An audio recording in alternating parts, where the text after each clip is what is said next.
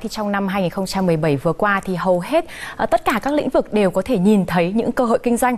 Ví dụ như là học tiếng Anh thì giờ đã trở nên đơn giản hơn bằng việc là tải một ứng dụng trên điện thoại di động về máy của mình. Việc đi khám chữa bệnh giờ đã không phải chờ xếp hàng mà có thể nhờ tư vấn bác sĩ và đặt lệnh khám qua mạng. Hay là việc thanh toán vé xem phim, đi taxi giờ có thể được thực hiện qua việc là quét vân tay trên ví điện tử. Tất cả những mô hình đó đều có được nhờ công nghệ. Tuy vậy thì nếu không có sự nhanh chóng thích nghi và đổi mới sáng tạo của các doanh nghiệp khởi nghiệp thì công nghệ đó cũng khó mà ứng dụng vào từng ngõ ngách của cuộc sống. Vậy thì nhìn lại một năm vừa qua, một năm tăng tốc của khởi nghiệp thì đâu là những điểm nhấn? Chúng ta sẽ cùng nhìn lại.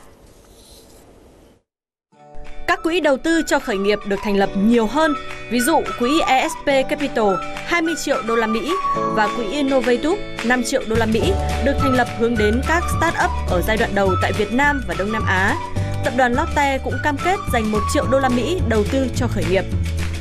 Nếu các lần gọi vốn năm 2016 chỉ được từ 5 đến 50 nghìn đô la Mỹ thì các thương vụ năm nay lớn hơn nhiều. Ví dụ như Tiki nhận vốn 10 triệu đô la Mỹ, VM Chip cũng nhận vốn 10 triệu đô la Mỹ và Hoa Yêu Thương nhận 1 triệu đô la Mỹ. Tất cả đều từ các quỹ đầu tư nước ngoài. Dự thảo nghị định về đầu tư khởi nghiệp sáng tạo đã chính thức công bố. Điều này giúp tạo hành lang pháp lý rõ ràng hơn để tạo thuận lợi cho các nhà đầu tư trong và ngoài nước rót vốn vào các dự án khởi nghiệp tiềm năng ở Việt Nam. Công ty cổ phần VNG năm qua đã ký kết thỏa thuận niêm yết trên sàn chứng khoán Nasdaq, sàn giao dịch điện tử lớn nhất nước Mỹ. Đây sẽ là công ty đầu tiên của Việt Nam được niêm yết trên sàn này và được kỳ vọng sẽ thu hút thêm vốn ngoại vào Việt Nam. Quốc gia khởi nghiệp, cà phê khởi nghiệp, thương vụ bạc tỷ đều là những show truyền hình ra mắt năm qua nhằm truyền cảm hứng cho cộng đồng khởi nghiệp, khát khao đổi mới, làm giàu. Nhờ có các chương trình này, khởi nghiệp được quan tâm rót vốn nhiều hơn. Nhiều câu chuyện đầy cảm xúc về thành công và thất bại đã được chia sẻ. Vâng, những điểm nhấn vừa rồi đã khẳng định sự phát triển mạnh mẽ của hệ sinh thái khởi nghiệp đổi mới sáng tạo trong năm 2017 vừa qua. Tuy nhiên, làm sao để startup không phải là phong trào trong một lúc mà liên tục dài hơi, bền vững? Khảo sát của mạng lưới khởi nghiệp toàn cầu đã đánh giá là Việt Nam được xếp vào nhóm 20 nền kinh tế khởi nghiệp cao nhất, nhưng lại nằm trong nhóm 20 quốc gia có khả năng thực hiện các kế hoạch kinh doanh thấp nhất. Đa phần các khởi nghiệp trẻ vẫn còn tập trung vào ý tưởng sản phẩm mà quên đi việc lên bài toán lớn về năng lực và khả năng vận hành của bản thân doanh nghiệp. Khởi nghiệp thành công bước đầu khi sản phẩm đã thu hút được thị trường. Nhưng do chưa xây dựng được mô hình kinh doanh phù hợp, sự khác nhau quá lớn về tư duy khởi nghiệp và cái tôi của các thành viên, thiếu năng lực quản trị và nguồn tài chính dự phòng, khiến chàng trai này không thể theo đuổi hai dự án khởi nghiệp trong vòng hơn 2 năm bạn phải có một ý tưởng bạn phải có một cái mục tiêu bạn phải có một cái đích. Nhưng để làm sao để đi đến con đích con đường đấy nó đi như nào đi nhanh nào thì bạn lại phụ thuộc bởi một cái team của mình. Bạn phải phụ thuộc với điều kiện bên ngoài là xu hướng thị trường cái nguồn lực bạn có. Và bạn làm sao bạn phải khéo léo để hài hòa các yếu tố để bạn đến được cái mục tiêu cuối cùng. Vượt qua giai đoạn đầu thâm nhập thị trường, đã có rất nhiều doanh nghiệp khởi nghiệp có đà phát triển sau 1 đến 2 năm thành lập. Tuy nhiên, phần lớn trong số đó đã nhanh chóng rút lui trong thời gian qua do chưa có sự tính toán kỹ lưỡng. Những thứ cốt lõi về quản trị doanh nghiệp, cấu trúc doanh nghiệp, tài chính ngân hàng, các văn bản pháp luật như lao động sở hữu trí tuệ là những thứ giúp thương mại hóa ý tưởng khởi nghiệp. Việc này sẽ giúp các khởi nghiệp trẻ tính đến việc huy động vốn, kêu gọi quỹ đầu tư hay việc tính toán liệu có tiếp tục sở hữu doanh nghiệp nữa hay không. Cái tinh thần khởi nghiệp nó phải đi kèm với cái năng lực về quản trị. Hiện nay thì ờ, khởi nghiệp đã được đẩy mạnh nó như một phong trào. Cái chất lượng của các cái hoạt động khởi nghiệp, chất lượng của các doanh nghiệp mới thành lập thì đang là vấn đề rất lớn. Theo các chuyên gia và nhà đầu tư, với môi trường kinh doanh năng động thì sẽ có rất nhiều cơ hội kinh doanh cho các khởi nghiệp trẻ. Nhưng chính điều đó đang cám dỗ các khởi nghiệp nhảy vào thị trường quá nhanh. Sự vấp ngã là điều khó tránh khỏi và khởi nghiệp cần đi vào thực chất hơn.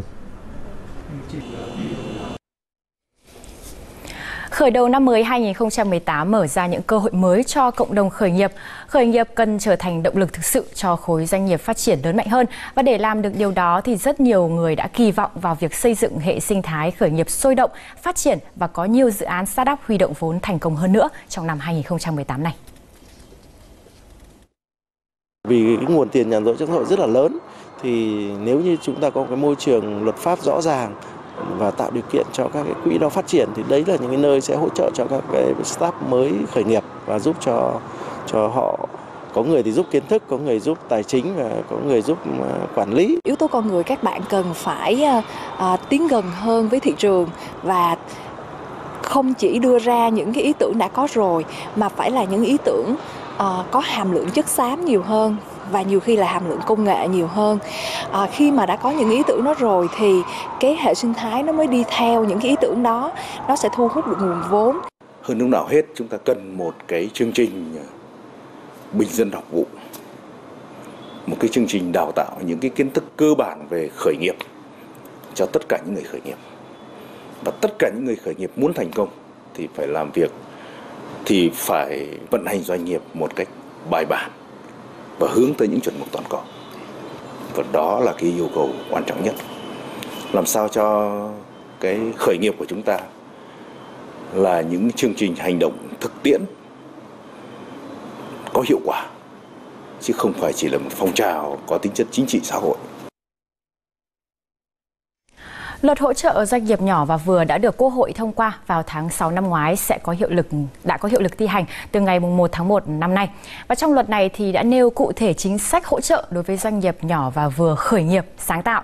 Theo đó, mức vốn đầu tư của các quỹ, trách nhiệm từ góp vốn cho tới mức thuế được ưu đãi cho doanh nghiệp vừa và nhỏ khởi nghiệp sáng tạo đã được quy định rõ. Đây chính là sự ờ, ghi nhận rõ ràng nhất về mức độ hoàn thiện về cơ chế và sự quan tâm của chính phủ để hỗ trợ các doanh nghiệp khởi nghiệp, từ đó khuyến khích việc hiện thực hóa các ý tưởng mới, phát triển và thương mại hóa sản phẩm có tính sáng tạo, ứng dụng cao và nâng tầm sức cạnh tranh của doanh nghiệp trên thị trường trong nước và quốc tế.